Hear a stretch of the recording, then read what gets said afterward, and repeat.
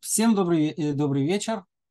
У нас сегодня такое своего рода заключительное занятие, предваряющее будущие занятия. Да, мы как бы сегодня, э, что называется, подводим черту под, из, э, под рассуждениями, связанными именно с библейским текстом.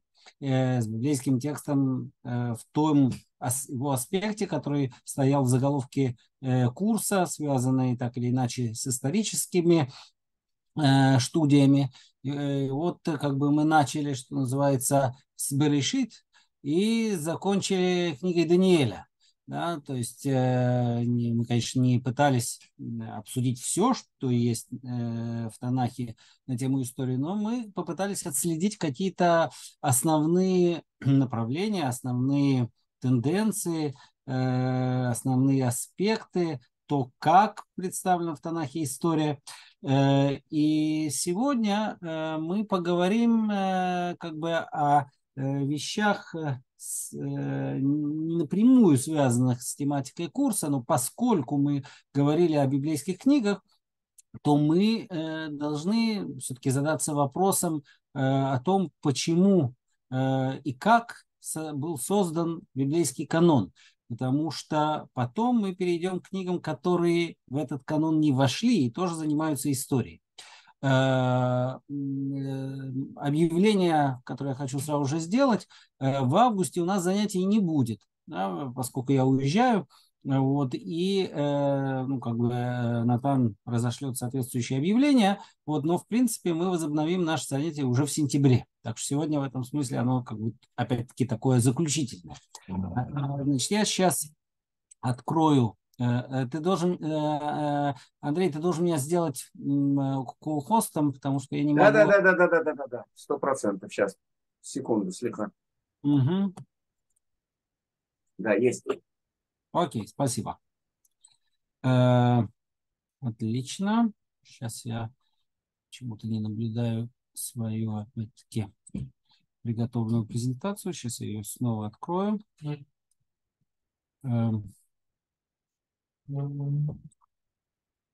Секунду. Почему же она у меня не хочет появляться? Сейчас, секунду, я закрою лишние тогда окна. Видимо, нужно закрыть лишние окна. Пол секундочки. Сейчас мы сделаем.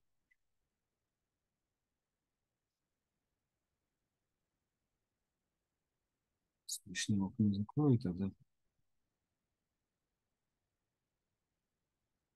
О, окей. Так вот, э, перед вами, я надеюсь, вы видите, это канонизация Библии, как это было. Мы поговорим сегодня о том, э, э, как происходил процесс освещения библейских книг, и это тоже исторический процесс. Да? Как бы мы говорили о том, как э, библейские книги изображают историю, как они с ней соотносятся, э, что является историей, что мифом, что мидрашем. Вот. А сегодня мы поговорим о некоем историческом процессе, который привел в результате к созданию знакомого нам канона библейских книг. Э, ну, как бы по ходу дела э, вы можете задавать вопросы. В конце я тоже оставлю время для вопросов. Итак, э, когда это начинается? На самом деле мы не знаем точно, когда это начинается. Но, по крайней мере, у нас есть некая зацепка, описание события, которое находится в книге царей, в книге Млахим, и из которого ясно, что в конце 7 века до новой эры, э, ближе к концу 7 века до новой эры, э, была, э, так сказать, опубликована книга Девари. Значит, я привел тут два отрывка на иврите.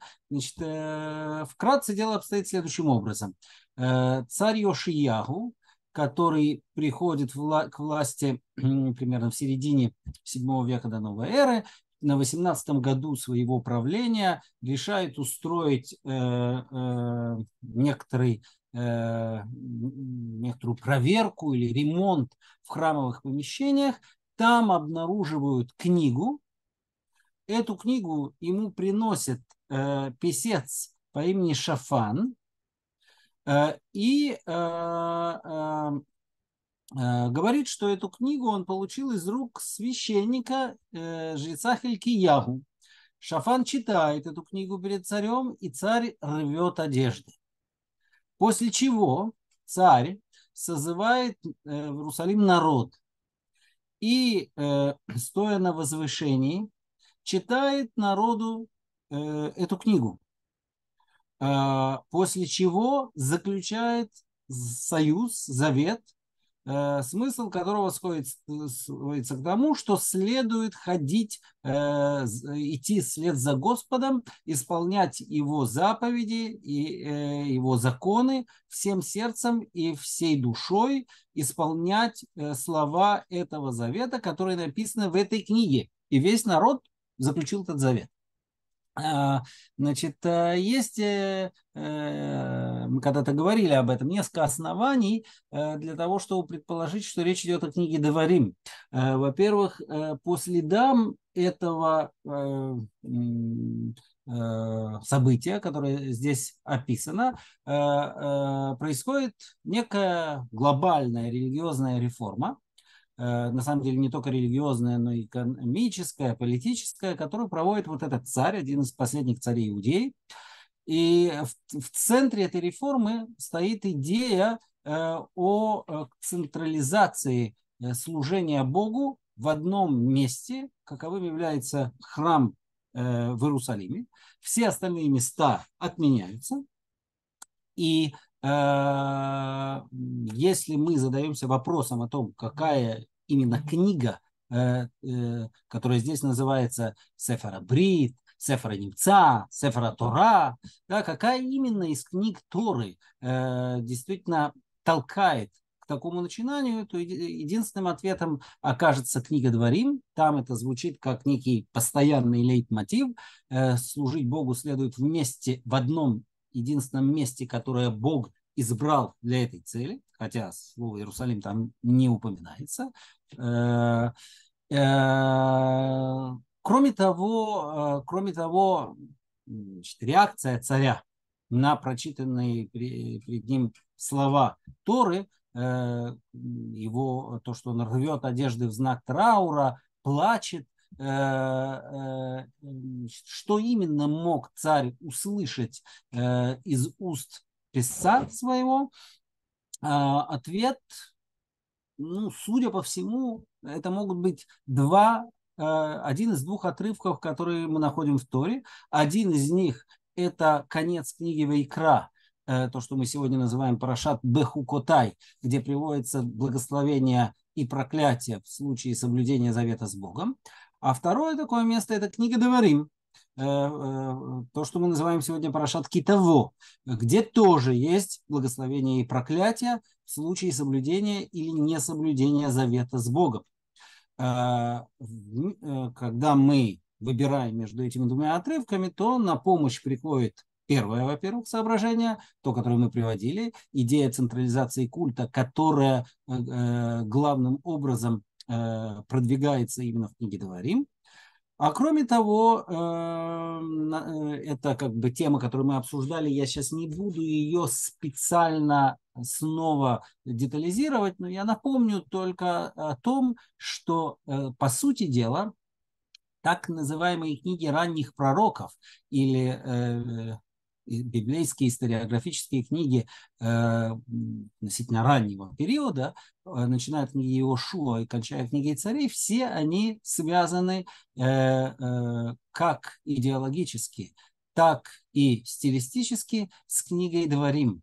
Да, то есть они явно ориентируются на эту книгу, э, даже том отрывке, который я вам сейчас представил, можно найти э, как бы эту ориентацию, ну, например, в выражении «бехоль леву, бехоль нефеш», всем сердцем всей душой, а, а, впоследствии весь этот блок э, в библеистике получил название так называемого дифтерономистического корпуса, э, мы не будем сейчас обсуждать вопрос, э, стояло ли за открытием книги ее создание или же только ее публикация, так сказать.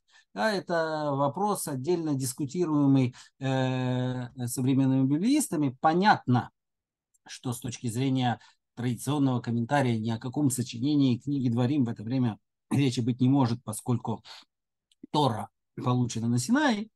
Но даже мудрецы Талмуда, равно как и отцы церкви, такие как э, блаженный Иероним, а, создатель э, перевода э, Библии на латынь, так называемые вульгаты, признают то обстоятельство, что речь здесь идет, несомненно, о книге Дворим. И в любом случае, как бы мы ни относились к вопросу о том, действительно, что стоит за этим описанием, э, сочинение или публикация книги, ясно одно, что этот текст фиксирует очень важную точку, можно сказать, первую точку в канонизации библейских книг. А сам текст свидетельствует о том, что э, э, книга Торы становится неким обязывающим документом. Да, я подчеркну, это не текст, который находится в самой Торе. Да, сама Тора как бы сказать, э, в этом плане, что называется, псулали идут. Да, она не может свидетельствовать сама о себе.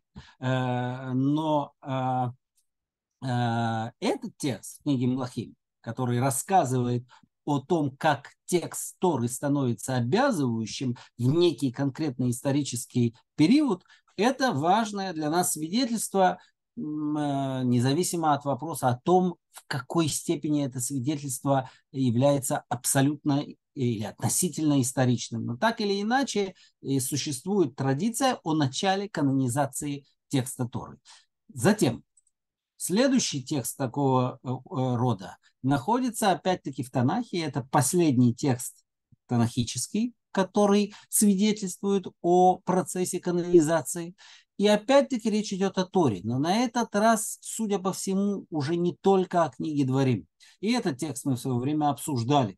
Он находится в одном из наиболее поздних э, сочинений, вошедших в библейский канон. Это книга Нехемии, в которой, где в восьмой главе рассказывается о том, что э, народ вернувшийся из Вавилона персидского плена, собирается в, в месяц Тишрей на городской площади в Иерусалиме.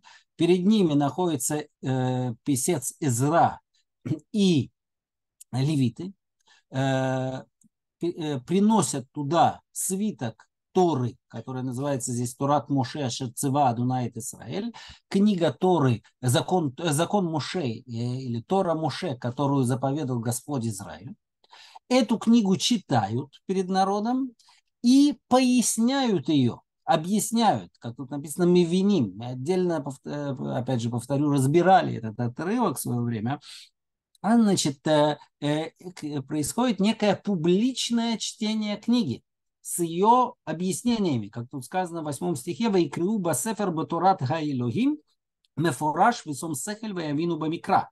И читали книгу Торы Божьей, толкуя ее и объясняя ее, значит, то, что прочитано. Да?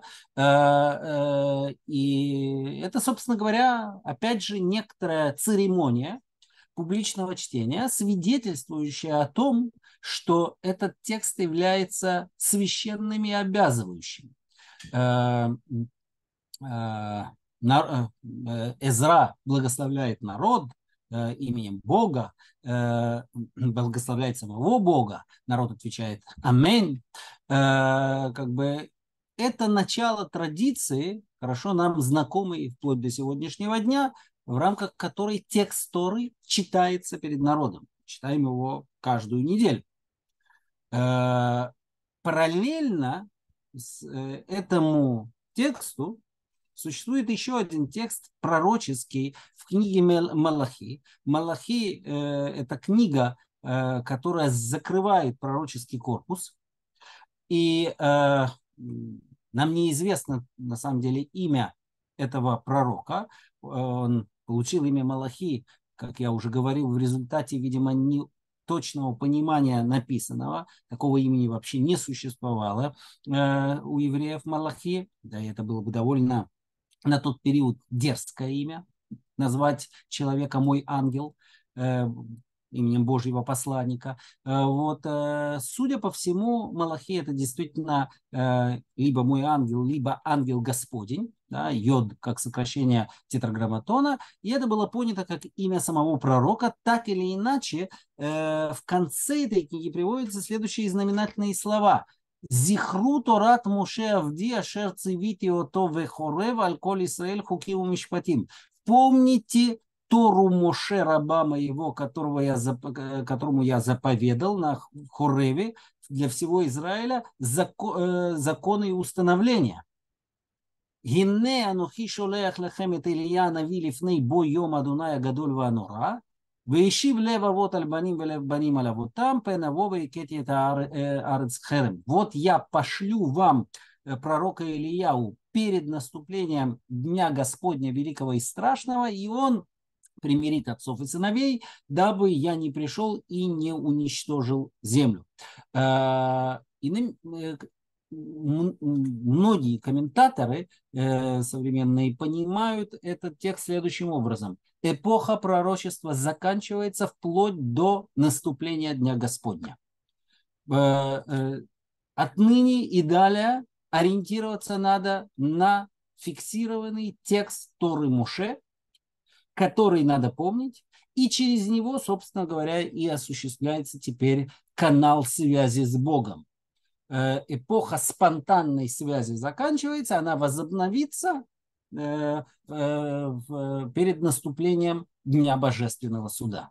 Повторяю, время, когда создан этот текст, это как раз примерно время создания книги Эзры и Нехемии. То есть все приводит нас к тому, что это некий поворотный момент, завершающий пророческую эпоху и открывающий эпоху Торы. Э, это, на это обратили внимание мудрецы Талмуда, сказавши, что последними пророками были Хагай, Захария и Малахи, и после этого пророчество завершается. Не все так думали, об этом мы тоже в свое время говорили, э, вот, и не все были согласны с таким взглядом, но, по крайней мере, те, вот в этих текстах, которые я вам сейчас представил, судя по всему, этот текст, э, это воззрение действительно находит свое выражение. Э, теперь поскольку, э, да, и важно отметить, э, что исходя из тех цитат, которые мы находим в книгах Эзра и Нехемии, цитаты аллюзий к текстам Торы, можно заключить, что на тот момент были э, в распоряжении э, все пять книг. А все пять книг, даже если их текст не полностью совпадал с текстом нам знакомым, но аллюзии в книгах Эзры и Нехемии и прямые цитаты есть из всех Э, э, связаны со всеми пятью книгами Тора. То есть это некоторый дополнительный шаг по сравнению с тем, что мы видели в, э, в, в истории с царем Ишияу, Йошияу в конце эпохи первого храма. Теперь следующий этап. Следующий этап – это, опять же, связанный с Торой. Да, мы говорим о Торе. Э, у нас есть на самом деле три сохранившихся древних версии Торы. Потом появляются и более поздние. Но древних три. У нас есть масорецкий текст, тот текст, который мы читаем сегодня. Да, вот те самые Хамиша Хумшей Тора. Хотя, конечно, э, после того, что был открыт Кумран, стало ясно, что этот текст тоже претерпевал э, изменения. Изменения не какие-то глобальные, но, по крайней мере, в отношении э, языка и стиля, тех или иных фраз и слов, изменения имели место. Э, собственно говоря, даже в средневековых рукописях, когда текст уже, казалось бы, устоялся полностью, мы находим определенные расхождения. В конце эпохи второго храма, а именно об этом идет речь, э, таких расхождений гораздо больше. Второй текст – это самаритянское пятикнижье – Э, значит, мы не знаем точно, когда этот текст был создан. Э, на этот счет тоже существует расхождение. Некоторые считают, что мы это тоже, опять же, по ходу дела мы все время вспоминаем сюжеты, которые мы уже обсуждали. Некоторые считают, что как раз во времена Эзры и Нехемии и произошел раскол, приведший в результате к тому, что образовалась группа так называемых в будущем самаритян, и у них был свой священный текст. Э, э, некоторые считают, э, Иосиф, Флавий Иосиф утверждает, что раскол произошел гораздо позже, во времена уже Александра Македонского. Это не очевидно, но понятно, что раскол происходит в эпоху второго храма, помимо прочего еще и потому, что самаритяне, группа, которая, э, для которой священным местом являлся храм на горе Гризим э, в Шхеме. Так вот, самаритяне э, канонизировали только Пятикнижье, и кроме того, они признавали еще книгу Иошуа. Все остальные книги были ими отвергнуты, что говорит о том, что, видимо, раскол произошел до того, что пророческий корпус был окончательно сформирован и освящен, канонизирован. Об этом речь немножко ниже.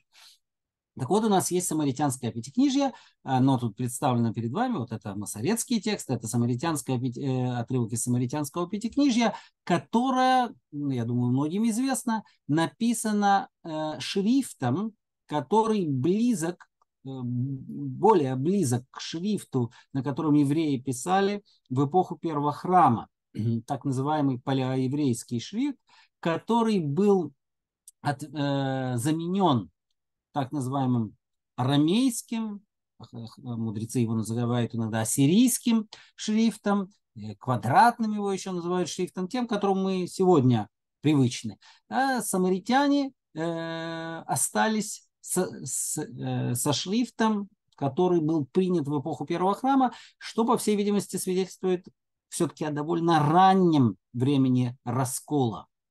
Э, между масоретским текстом и самаритянским текстом есть очень много расхождений. Некоторые из них носят чисто сектантский характер. В частности, например, в самаритянском пятикнижии Э, явно подчеркнута роль Шхема и э, вплоть до того, что его святость заявлена э, в самаритянском пятикнижье в, в рамках декалога, десяти заповедей. Кроме того, в книге Дворим, всюду, где в масоретском, масоретском тексте написано место, которое изберет Господь, это центральное единственное место. Всюду э, в самаритянском пятикнижье сказано место, которое избрал Господь, Бахар вместо Ивхар, с тем, чтобы сказать, что это не Иерусалим, который в будущем будет э, э, превращен Давидом в столицу Израиля, а это древний, еще времен працев, город Шхем. Но кроме этих сектантских изменений, есть еще целый ряд изменений, которые, видимо, предшествуют расколу, мы знаем э, э, об этом сегодня еще и потому, что, опять-таки, протосамаритянские тексты были найдены в Кумране одна из характерных черт, которые, э, которая э, как бы вот э, постоянно присутствует в самаритянском пятикнижии, это склонность к гармонизации. Когда есть какие-то несовпадения, например, там какое-то указание написано одним языком, а его исполнение немножко отличается, в частности, касательно э, строительства Скинии, самаритянская, вот это как бы прото-самаритянский текст, это правит и делает все абсолютно одинаково. То есть симметрия и гармония должна быть полной. Э, в чем-то э, уже книга Дворим, э, этому предшествует, тоже создает определенные гармонизации, но это отдельный вопрос. Так или иначе, вот у нас есть самаритянское пятикнижие, и третий текст, который у нас есть, это, естественно, текст Септуагинты. Текст Септуагинта – это греческий перевод, который в целом, в том, что касается Торы, не очень сильно разнится э, с масоретским текстом, но тем не менее разница есть. Э, и опять же, когда найдены были кумранские тексты, стало ясно, что э, речь идет не о каком-то, скажем, неточном вольном переводе, а речь идет о том просто, что перед переводчиком был другой текст на иврите отличающиеся теми или иными деталями от текста Масорецкого. В ряде случаев можно пытаться восстановить, какой текст более оригинальный, какой более поздний. Э, я приведу только два кратких примера. Один, опять же, мы разбирали э, в песне, э, в песне Гаазину в книге Дворим, там, где речь идет о том, как Бог разделял землю между народами. В масоретском тексте говорится, их он разделил по числу сыновей Израиля, а в Септуагинте говорится по числу сыновей э, Бога и сыновей Божьих. И такой текст на иврите был найден в Кумране. Другой пример, в котором, видимо, происходит э, тенденциозная правка в, э, в переводе Септуагинты, и как раз и э, в самаритянском пятикнижье, э, когда в э, книге Берешит говорится о том, что Бог Э, завершил э, сотворение мира, там сказано, что это происходит в седьмой день. Да, мы читаем это каждую неделю. Вейхулу ашамаем баарец вехольцвам, вейхали лухим байом хашвии млахто ашараса. И закончил Бог в седьмой день всю работу, которую он сделал. Так вот, и в Септуагинте, и в Самаритянском Пятикнижье в этом месте написано в шестой, а не в седьмой день, что, видимо, объясняется теологическими соображениями, Бог ничего не, не мог кончать в седьмой день, в седьмой день он просто отдыхал. А все закончено было в шестой. Интересно, что это обсуждают Мидрашах и мудрецы Талмуда. И они по-своему решают эту проблему и говорят о том, что как бы, вот эта граница между шестым и седьмым днем, она как бы, совершенно такая, ну, неясная, зыбкая, с перетеканием. Вот, но во всяком случае, это вот примеры тех отличий, которые есть между Септуагинта и э, э, масорецким текстом. Значит, э, эти тексты сосуществовали. Э, когда они уходят, уходят они, судя по всему, то есть что значит, они уходят на самом деле, но отвергаются евреями. Э, после разрушения второго храма, что касается самаритянского пятикнижия, то судя по всему, окончательный раскол с самаритянами происходит во втором веке. То есть раскол уже был, но как бы полное такое размежевание и антагонизм э, после восстания Баркоху, как предполагают исследователи. Во всяком случае, самаритянский текст совершенно перестает быть релевантным для еврейской традиции. Талмуд относится к нему с очень малым почтением. То же самое и с э, текстом Септуагинты, который становится священным для ранних христиан и тем самым отвергается еврейской традицией. Это еще связано с тем, что э, Септуагинта была священным текстом для, для э, египетской Александрийской еврейской общины, которая была, в сущности говоря, разгромлена э, э, э, Трояном во время восстания диаспоры в 115-117 годах, практически прекратила свое существование, и текст, опять же, для евреев перестал быть релевантным, но до этого времени, вот как бы до начала второго века, эти тексты сосуществовали и как бы э, являлись частью еврейского дискурса. Теперь отсюда мы переходим к вопросу э, канонизации пророческих книг. Когда это происходит? Это э, мы не знаем точно. У нас нет точного ответа на вопрос, как э, и когда произошла канонизация пророческих книг. Э, мы только можем указать на самую позднюю точку. Там очевидно, что это уже произошло. Значит, такой поздней точкой является свидетельство э, автора книги Бен Сира, или как в христианской традиции, это, или в Септуагинте это называется уже э, Иисус сын Сирахов.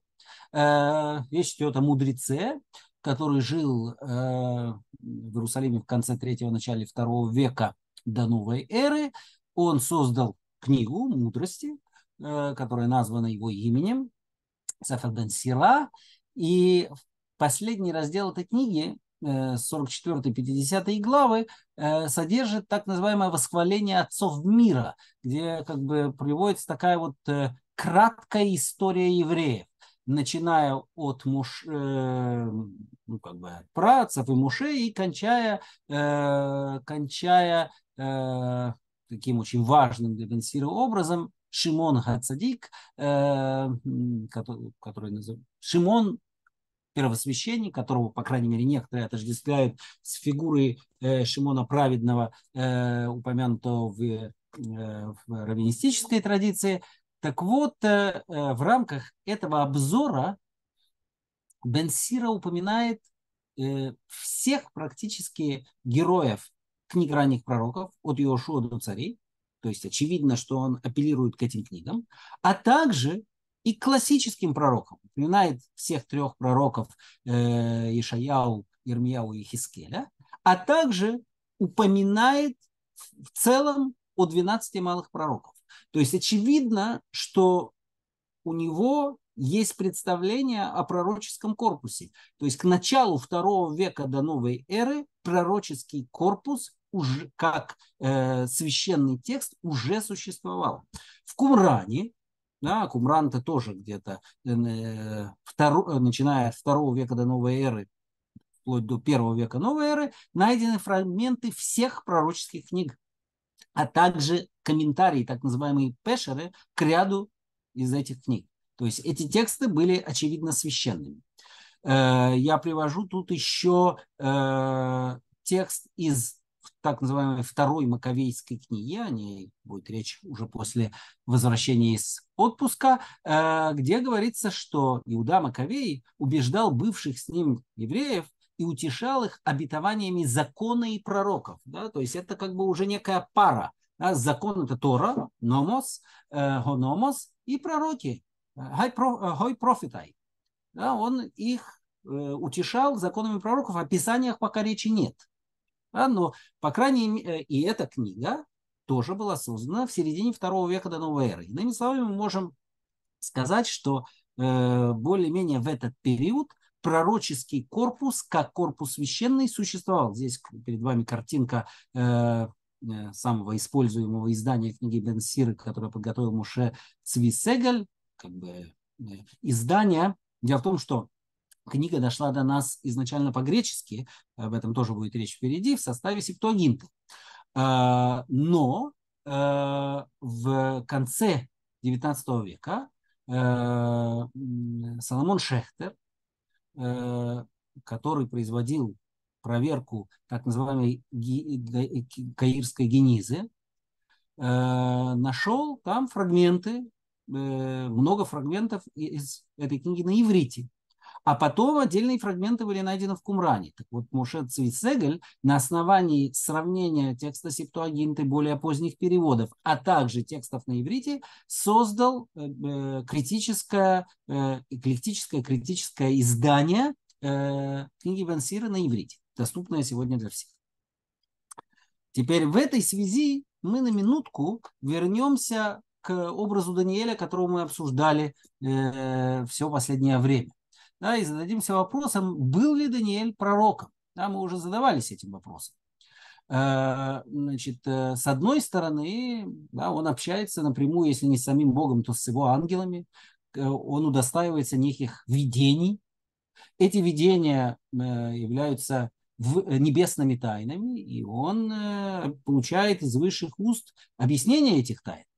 Значит, в связи с этим значит, мы видим, что по крайней мере, некоторые группы на, в народе считали его пророком.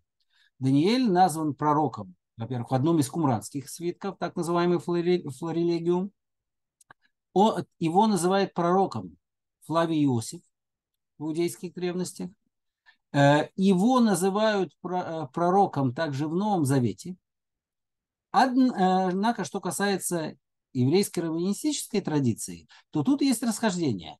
Есть мнение о том, что он был пророком, а есть противоположное мнение, что пророком он не был.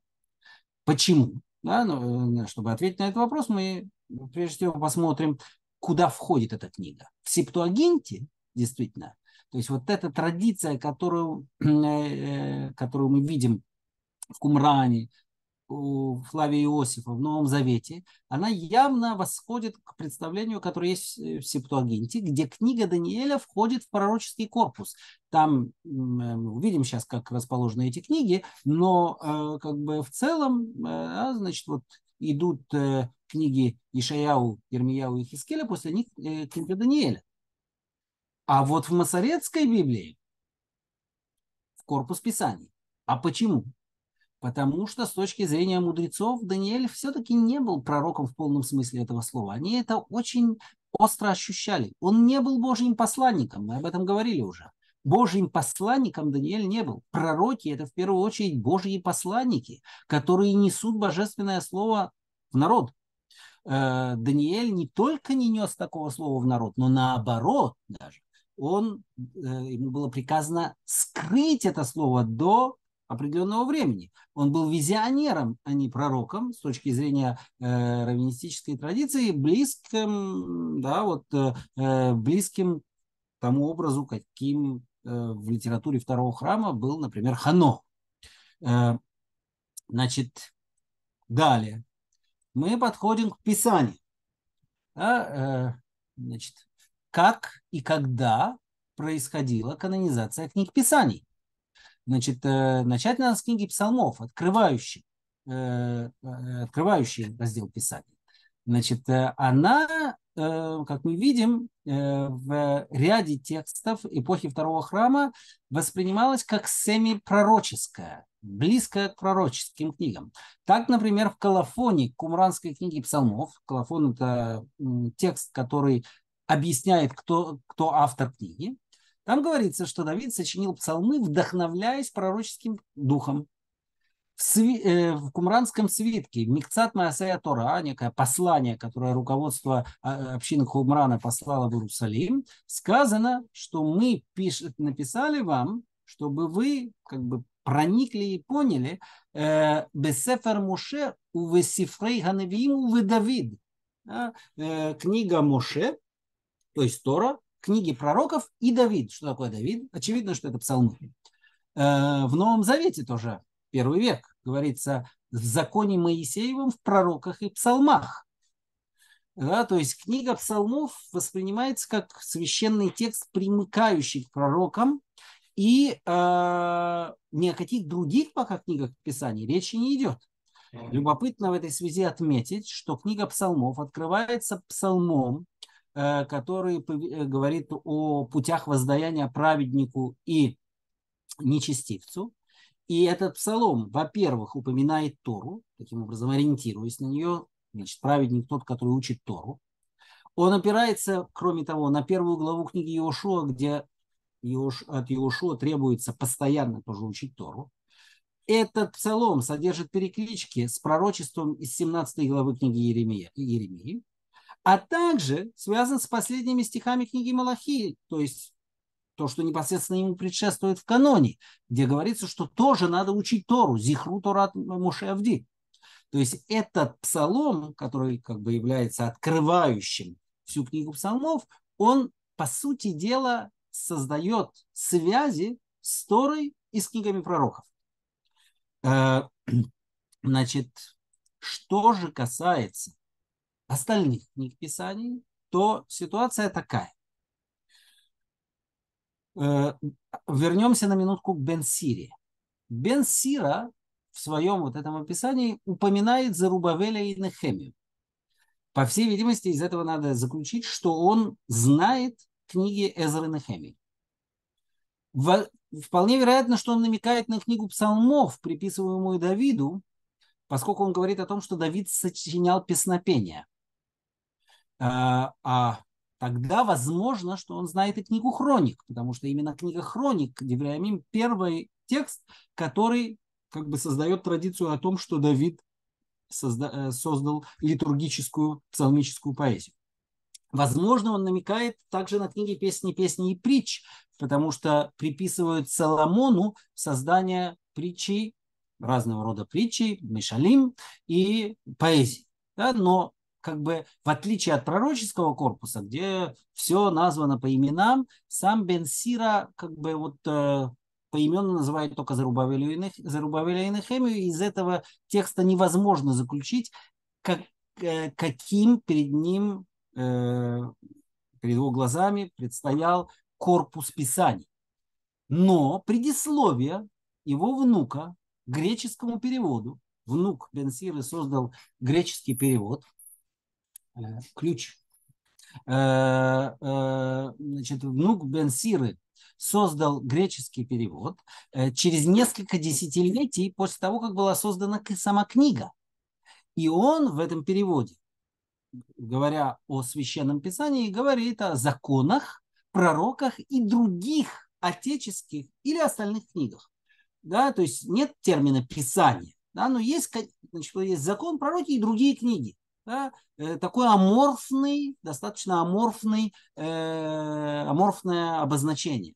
То есть, судя по всему, еще нету какого-то четкого э, ограничения. В Кумране, опять же, найдены фрагменты из всех библейских книг, за исключением книги Эстер.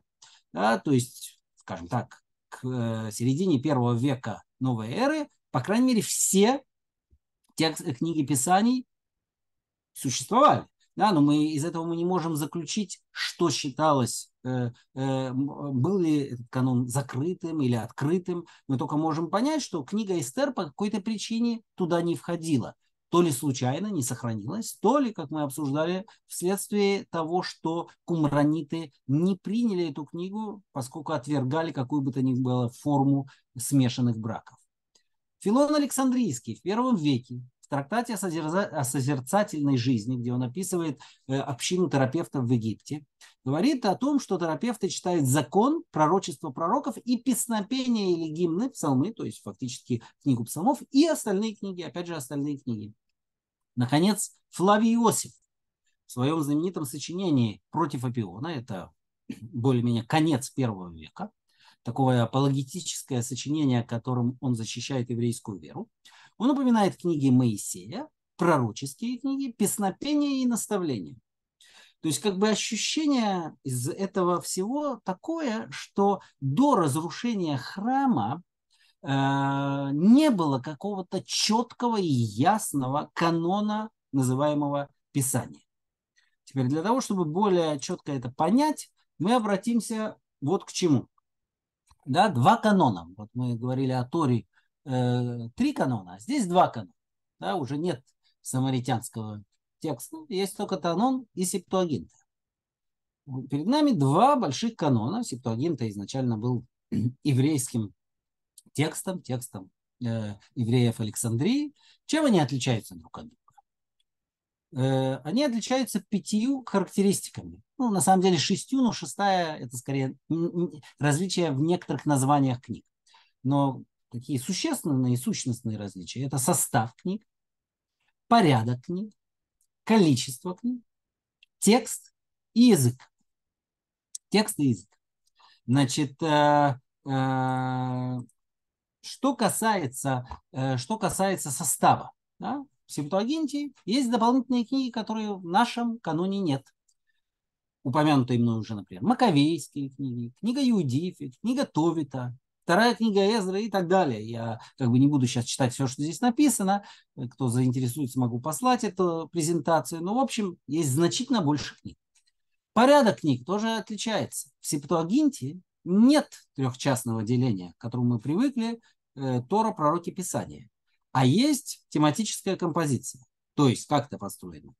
Пять книг Торы, затем все исторические книги. Да, э, значит, э, э, Тору тоже можно как бы включить как историческую книгу. Иошуа, э, э, Судьи, Рут, э, четыре книги царств, так называется, в Септуагинте. А для нас это две книги Шмуэля и две книги царей две книги хроник или Паралипоменон в Септуагинте, э, книги Эзры и Нахемия, а также апокрифическая книга Эзры, Эстер, Юдив, Товит, Маковей. Вот все эти книги как единый корпус. Да, ну, как бы как, вся, все исторические книги. После этого идут книги мудрости и поэзии, псалмы, притчи, экклезиаст, песен песни, Иов, книга премудрости Соломона, которая в наш канон не вошла, Бен Сира, книга псалмов Соломона. И потом, в самом конце, все пророческие книги, в которые тоже входят в том числе и апокрифические произведения, например, книга Баруха, писца Ирмияу Баруха. Э, туда же входит книга «Плач Еремии» Иха, поскольку приписывается пророку Иеремии. Э, и вот туда же входит книга Даниэля. Правда, порядок иногда варьируется. Количество книг. 24 книги в Танахе мы знаем, как дали Сфарим, при этом как делается расчет. Надо помнить, что 12 э, малых пророков Треса считаются при этом одной книгой. Естественно, в книге Шмуэля одна книга, в Царей одна книга, Эзра и Нехемия одна книга, книга Хроника одна книга, и так получается 24. В Септуагинте, поскольку есть больше, э, есть книги, которых нет в масоретском тексте, то, естественно, значительно больше книг. Текст разнится очень часто. То, что в Торе появлялось эпизодически, э, в книгах пророков и писаний очень много разных расхождений. Мы видели это, когда, например, обсуждали добавки септуагинты книги Даниэля. Вот, но есть и много других. И, как я уже и сказал, ясно совершенно, что септуагинта, как правило, отражает другой еврейский текст. Язык, э, часть книг, которые входят в септуагинту, изначально написаны на греческом языке, например, некоторые из книг Маковеев, книга «Премудрости Соломона» и другие. Теперь, что из этого всего следует? Из этого всего следует, что э, э, э, во-первых, это подтверждает наш вывод, наш вывод о том, что не было э, какого-то э, э, как бы э, согласованного корпуса книг Писаний к концу эпохи первого, второго храма, который был бы четко как бы ограничен. В разных местах были разные тексты, раз, разные книги. Более того, как бы, несмотря на то, что, например, Берец Исраэль, пророческий корпус уже во втором веке до новой эры был сформирован и закрыт, тем не менее бы, могли быть всякие подвижки в Септуагенте, например, да, мы видим, что там книга Даниэля становится частью э, пророческого корпуса, э, там, передвигают книгу Иха, поскольку она приписана Ермияу, она тоже становится частью пророческого корпуса и так далее. Да, то есть как бы э, только по поводу Торы нет никакого э, э, спора. Есть пять книг Тор. Это есть и в Септуагенте, и, естественно, в масоветском тексте. Значит, э, э, здесь мы действительно подходим к вопросу любопытному, который касается количества, да, вот сколько было книг. Да? Что говорит Флавий Иосиф в том же э, произведении против Апиона? Он говорит так. У нас невеликое множество книг, которые не согласовывались бы между собой и противоречили друг другу, а только 22, содержащие летопись всех событий нашей истории, и они по справедливости почитаются боговдохновенными. Дальше он их называет. Пять книг Торы, 13 книг пророков, 4 книг песнопений и наставлений. Но их 22, а не 24. И многие э, Исследователи считают, что это потому, что для Флавия книга Судей и книга Рут – это одна книга, а также Иеремия и Плач – одна книга. Но, значит, вот любопытно, что в таком произведении, которое называют «Откровение Эзры», оно было создано то ли в конце первого, то ли в начале второго века новой эры. Значит, тоже такое э, апокрифическое произведение. Значит, там рассказывается, что Эзра должен был написать 94 э, книги. Написано, э, написано же были в 40 дней 94 книги. И когда исполнилось 40 дней, да, это, естественно, намек на Муше, да, а вот Симан Либаним, деяние отцов, знак для сыновей. Всевышний сказал, первые, которые ты написал, положи открыто, чтобы могли читать и достойные, и недостойные, то есть все. Но последние 70 сбереги, чтобы передать их мудрым из народа. Да, так же точно, как Даниэль э, должен сберечь полученные э, э, видения, их толкования, так и здесь Эзра должен сберечь 70 книг. 70, естественно, число, э, число типологическое, обозначающее целостность, но что любопытно, да, э, значит, те, которые открыты всем, то есть открытый канон, их 24. Да, то есть Эзра, который пишет немногим позже Флавия, знает про существование канона Кавдалит Сфарим, 24 книги.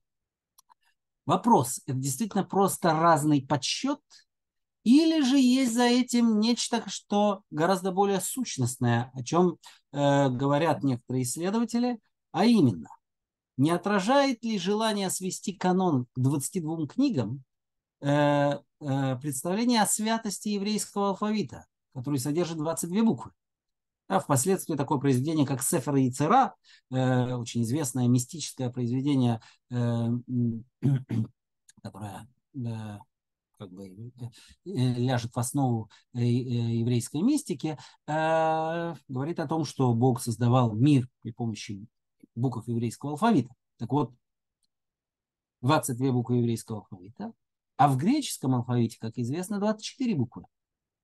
А кроме того, классическое или каноническое произведение еврейской, э, греческой литературы Илиада и Одиссея Гомера содержит 24 песни.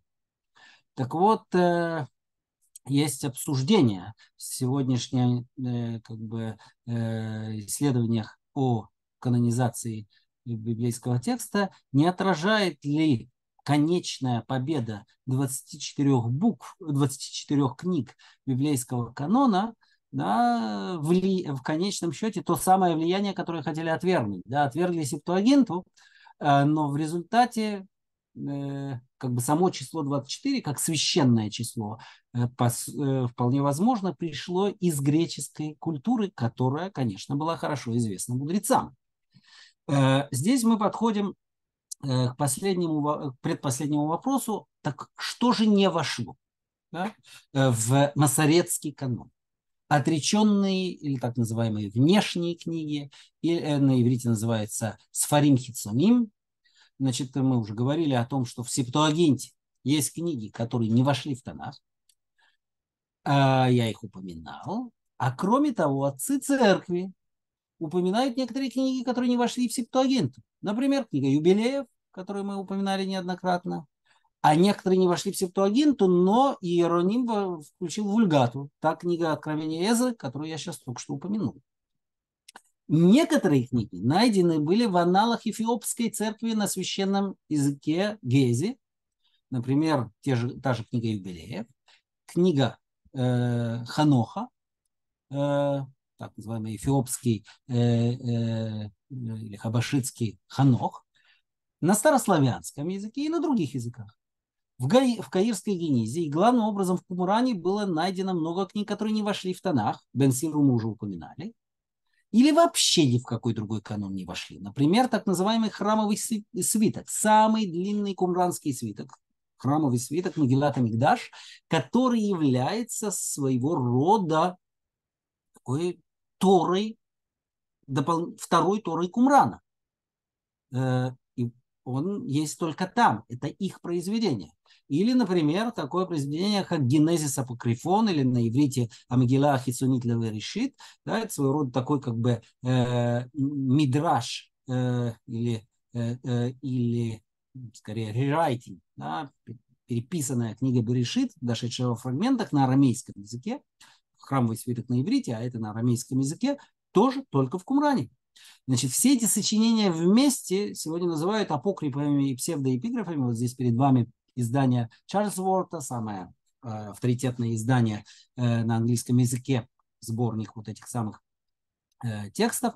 Это, конечно, название, которое принято исследователями. Да? Собственно, что их отличает друг от друга, апокрифы и псевдоэпиграфы. В каком-то смысле псевдоэпиграфы это тоже апокрифы. Апокрифы это как бы книги скрытые, да? буквально, а, псевдоэпиграфы – это более точное название. Это э, название для тех книг, которых автор, скрываясь за фигурой э, древнего персонажа, ну, говорит, ну, как бы, что вот он написал это произведение, этот древний персонаж. Моше, например, Авраам, э, Шлумо или Давид. Да, и таким образом книга получает особый статус, особый авторитет. Э, значит, э, в Танахе тоже есть, на самом деле, псевдоэпиграфы. Например, книга Коэлет, очевидный псевдоэпиграф, где делается попытка, хотя особый псевдоэпиграф, потому что автор не говорит прямо, что книга написана царем Шломо, но он на это явно намекает. Э, и последнее, перед тем, как я дам вам возможность задать вопросы, э, значит, мы поговорили о том, как создавался канон, когда, как. Теперь вопрос, какие, собственно, критерии были перед мудрецами Мишны, когда они составляли канон. То есть каноны, э, масоретский канон в конечном счете формируется, после, как я уже сказал, после разрушения второго храма, в Явнинский период, то есть это конец первого, начало второго века. Текст, конечно, еще продолжает варьироваться, но канон формируется. Э, в Мишне, в трактате Сангидрин говорится так, что э, среди тех, у кого нет доли в будущем, времени, э, в будущем мире, есть в частности те, по словам Раби Акивы, которые читают внешние книги. Не пугайтесь, не надо думать, что значит, чтение этих книг, апокрифов, псевдоэпиграфов обязательно ведет к лишению доли в будущем мире. Как сегодня ясно, судя по всему, что, э, что здесь имеется в виду, публичное чтение, литургическое, то есть придание этим книгам священного статуса те, кто пытаются, скажем, сказать, что в синагогах, ну, например, надо читать книгу Бенсиры, да, или книги Маковеев, у него нет доли в будущем мире. Канон закрыт. Его больше нельзя, в него больше нельзя ничего включить. А каковы же критерии? А критерии такие. Внешними книгами являются, во-первых, все те, которые с точки зрения мудрецов были созданы э, по окончании персидской эпохи. После Эзры и Нехемии в трактате Батра делается попытка приписать э, библейские книги различным авторам. Последний из них Эзра и Нехемия. То есть как бы с точки зрения мудрецов, тогда же примерно, когда кончается пророческая эпоха, кон- тогда же завершается э, написание канона, да, потому что книги написаны по божественному вдохновению и э, все, что потом э, написано уже как бы людьми просто. Им э, э, мудрецов опередил, опять же, Флавий Иосиф, который говорит в той же книге против Апиона следующую вещь. От Артаксеркса, то есть, видимо, того Артаксеркса, который э, э, упоминается в книге Нехемии, на жизни Нехемии. И до ныне также написано несколько книг, но они не столь достоверны, как предыдущие, поскольку не существует строго установленной преемственности пророков. Отсюда ясно, почему, например, Бен Сира, которого так обильно цитируют мудрецы Талмуда и явно уважают, не вошел в канон, потому что как бы, он свое имя не скрывал. Э, кто такой и когда он жил, было известно. Это явно после персидская эпоха. А, скажем, книга Экклезиаста, Коэль, которая по содержанию, по содержанию гораздо более подрывная по отношению к основам веры, чем книга Бенсир, не вошла, э, эта книга вошла в канон, потому что э, приписана была царю Шлому. Теперь вторым критерием было то, что все книги, которые написаны на греческом языке, отвергаются исходно. Да? В Эрец Исраэль это был э, желтый билет. Священными языками могут быть только иврит и арамейский. И, наконец, третий критерий, последний, если книга противоречит основам веры, как ее понимают мудрецы, эта книга может быть отвергнута. Но здесь критерий был менее жесткий, как бы пытались найти э, решение. Можно было истолковать проблемные места так, что противоречия снимались. Вот та же книга Коэлит. По, по ее поводу сказано «Бикшу хахамим лигноз сефер Коэлит мипнейши двораб сутрим зайдзе, у мипней малу гназуху».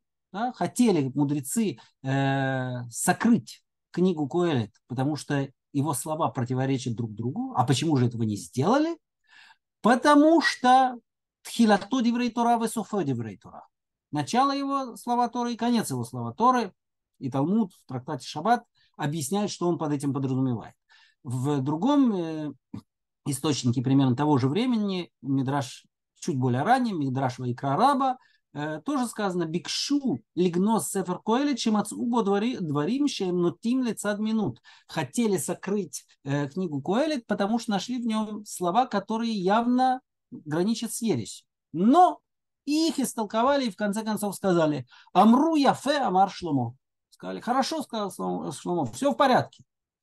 Да, как бы подытоживая, да, мы отследили в такой очень, конечно, конспективной форме процесс канонизации, э, с чего он начался, чем он закончился, сколько было канонов и э, э, каким образом установился масорецкий канон, который стал в еврейской традиции победителя.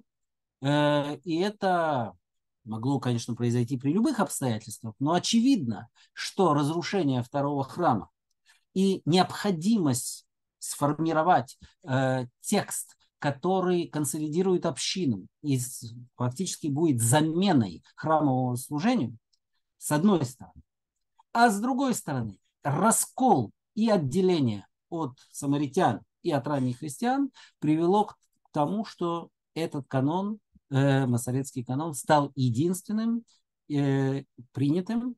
Э, хотя, повторяю, с точки зрения текста самого, э, изменения еще долгое время вносились.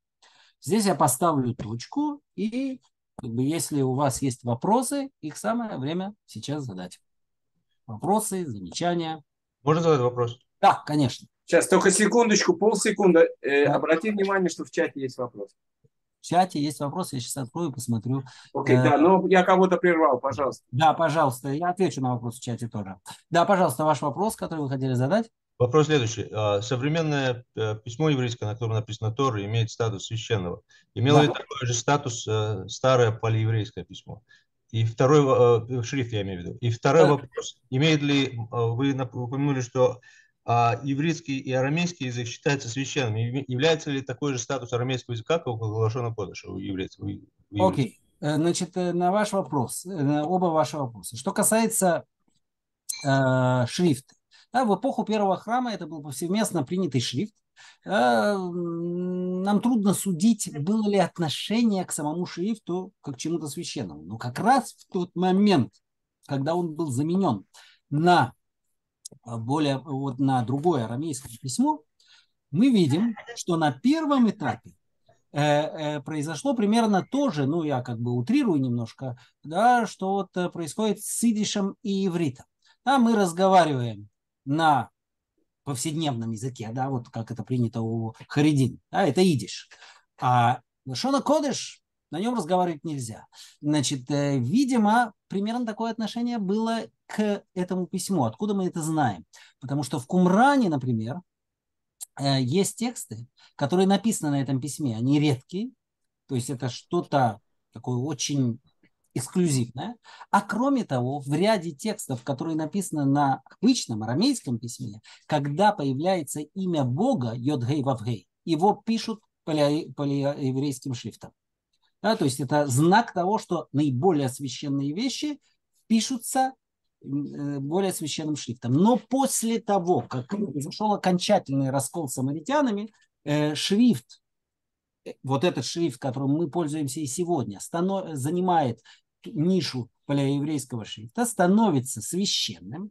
Я уже сказал, что мудрецы Талмуда смеются над Э, самаритянским пятикнижьем и указывают на достоинство как раз вот этого нового, принесенного, по их словам, Эзрой шрифтом, э, шрифта, и даже иногда договариваются до того, что именно на этом шрифте была изначально дана Тора, хотя и э, э, оспариваются другими мудрецами. Что касается языков, э, значит, конечно, иврит считается наиболее священным языком, он выше всего, э, но поскольку есть книги, такие как Эзра и Даниэль, отрывки из которых написаны по-арамейски, а кроме того торгумы, э, переводы Торы и пророков и писаний на арамейский язык э, приобретают тоже статус священного вплоть до того, что в отношении арамейского перевода Онкилуса Торы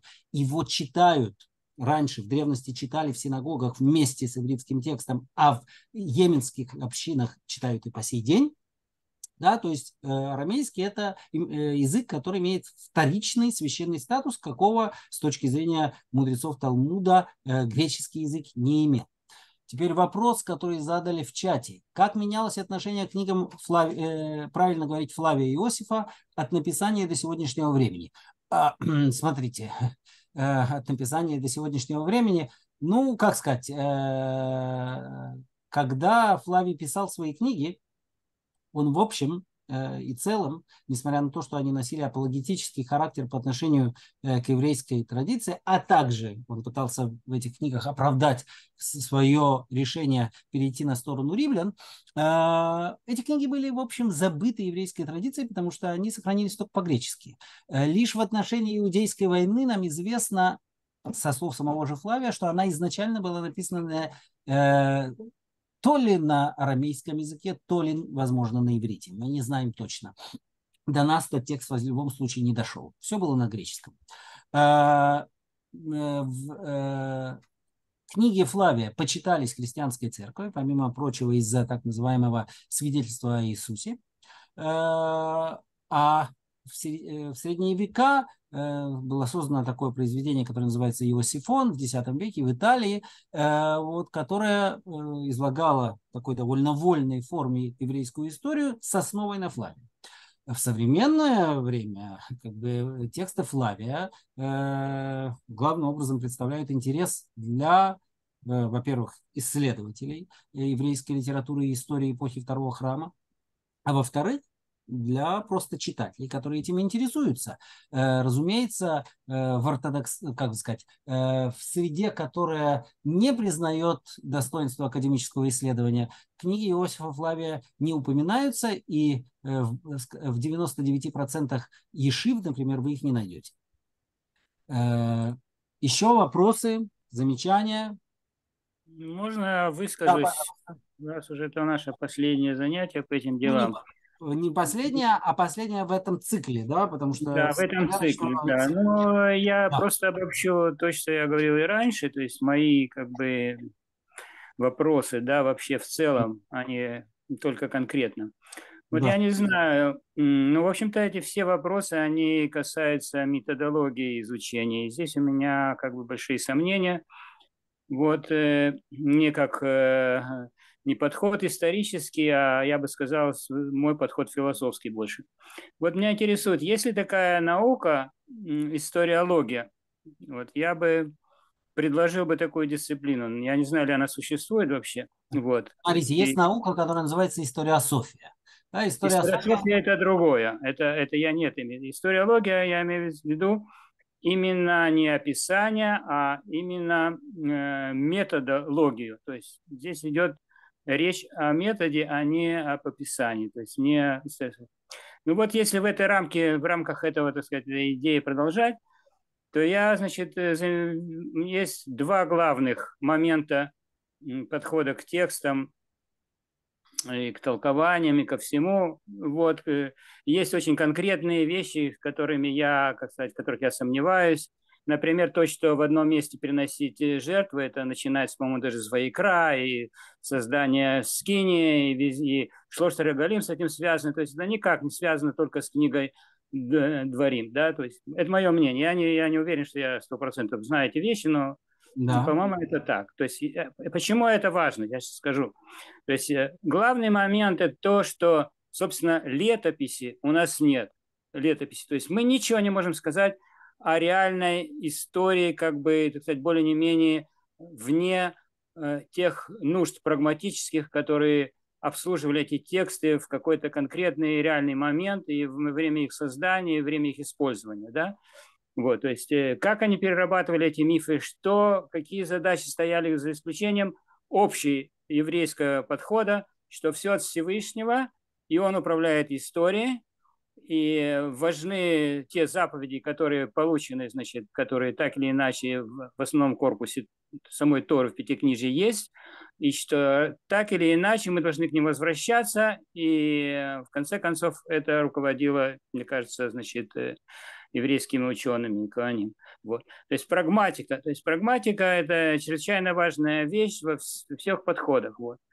Значит, э, в этой прагматике еще вмешивается то, что с развитием э, истории э, я бы назвал это антисемитов не только по политическим каким-то соображениям, но и по теологическим, то есть попытка утвердить какие-то свои новые идеи, новые тексты, как в исламе, то есть так и, так и в христианстве, они, безусловно, влияли и перетасовали все так, что тут, так сказать, очень сложно в этом всем разобраться. Я не говорю, что невозможно.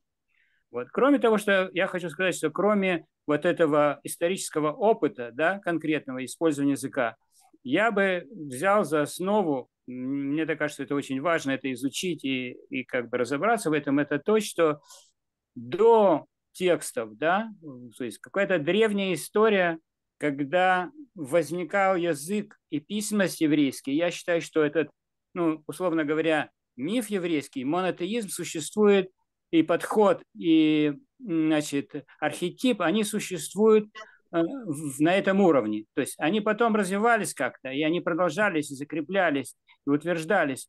Но они, это есть э, как бы интуиция народа, да, то есть некая глубинный слой, вот, э, ну, Кант бы сказал, что это нечто априори, он не признает врожденное, это связано, так сказать, с тем, что то, что связано с сознанием и мышлением. Но если говорить об, в, отношении истории, то это некое то, что предшествовало этому всему, и то, что сохранялось, несмотря ни на что, еврейскими, то есть это, как говорится, в крови еврейской, да, то есть всякие добавления, всякие изменения, всякое развитие – оно, не, оно всегда было в, э, в этой, как сказать, может быть, неосознанной этой интуиции и всегда влияло на э, вот то, что я сказал, да, то есть э, и в, в смысле канонизации текстов, оно влияло на то, чтобы сохранить эти исходные вещи и очень осторожно и очень ревностно относиться ко всему, что может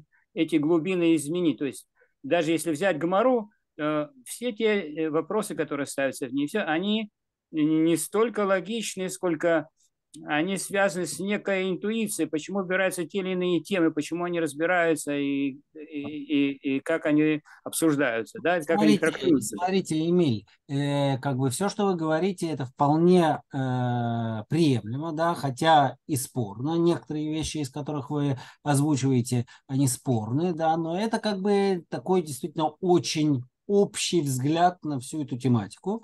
Э, вот он, э, как бы, разумеется, как я в свое время с вами уже вели на эту тему диалог, вот, э, и даже переписывались, вот, он, естественно, имеет право на существование, но я все же хотел бы отметить, что в рамках нашего курса мы говорили о каких-то более точечных, конкретных вещах, и в том числе и о внутренней рефлексии библейского текста. Э, значит, что касается историол... историологии, как вы ее назвали, да, в каком-то смысле историки этим занимаются, да, они как бы пытаются действительно вот те вещи, о которых вы говорите, так или иначе взять в расчет и обсудить. Э, ну, а что касается архетипов и как бы некоего, э, ну, так сказать, э, состояния до, да, это отдельная интересная тема, которая, конечно, заслуживает тоже отдельного обсуждения. Э, ну, просто как бы в рамках нашего курса мы время от времени к ней обращались, но это не являлось каким-то центральным моментом. Э, Но ну, в любом случае, спасибо вам за это. За я только одну точечную, если вы говорите о точечном, я просто как в качестве иллюстрации то, о чем вы сегодня говорили, приведу пример. То есть э, э, все эти, так сказать, весь этот спектакль, который разрезан с находкой э, пятой книги Торы и э, рвание на себе волос, волос и так далее, и так далее, это для меня это просто спектакль, вы понимаете? То есть я почти стопроцентно уверен, что это, так сказать, э, задумано, придумано для того, чтобы повлиять на ту ситуацию, которая необходима была, необходимости э, привер, привязать к Торе и к этим заповедям, и таким образом напомнить это очень театрально и очень, так Смотрите, сказать... это верно, что это театральное, но в тот момент, когда вы говорите, что я уверен в том, что это спектакль, вы переходите некоторую черту, потому что вы не располагаете точными доказательствами. Да? У вас есть определенное понимание этого текста, определенная гипотеза, как его понять, но одновременно существуют и другие гипотезы. Да? Значит, э, это может быть частично театр, э, это может быть вовсе не театр. Да? Э, в любом случае надо иметь в виду, что сам-то текст, описывающий это, он ведь не создавался, в, так сказать, в живом эфире. Он создавался после. Мы не знаем, через сколько после. Может быть, в данном случае действительно его отделяло от Э, описываемых событий несколько десятилетий. Но в любом случае сам-то текст уже передает рефлексию его рассказчика, как рассказчик понимает это. Сам рассказчик совершенно не считал, что это спектакль, а чем это было на самом деле, это вопрос очень-очень спорный. Я хотел бы еще понимаю. раз дать, хочу дать что... возможность и другим людям э, да, тоже задать вопросы и высказаться. Мое доказательство основывается в том, что первое, нет летописи, второе, нет литературы.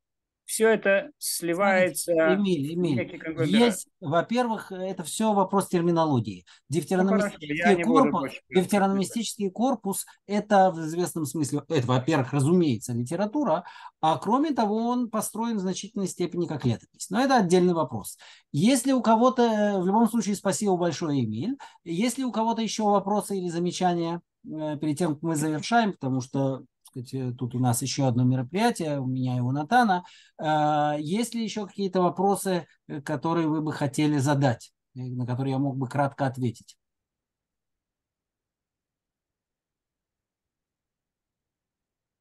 Нет вопросов пока?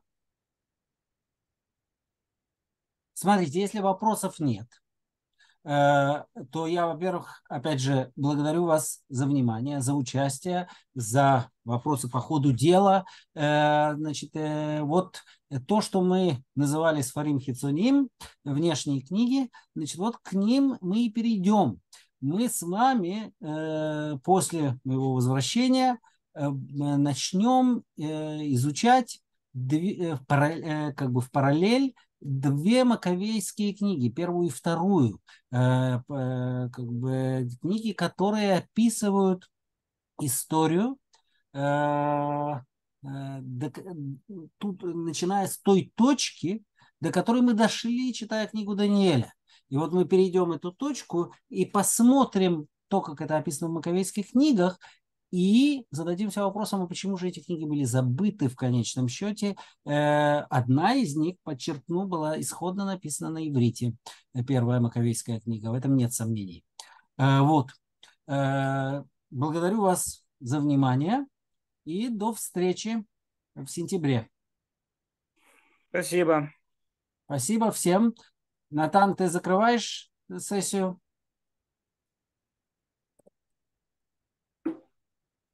Натан, ты закрываешь сессию? Так, у нас пропал Натан. Натан, ты закрываешь ли ты сессию? Что-то там, какие-то попытки связаться. Сейчас я свяжусь. Ладно, счастливо вам отдохнуть. Ну, хорошего, спасибо большое.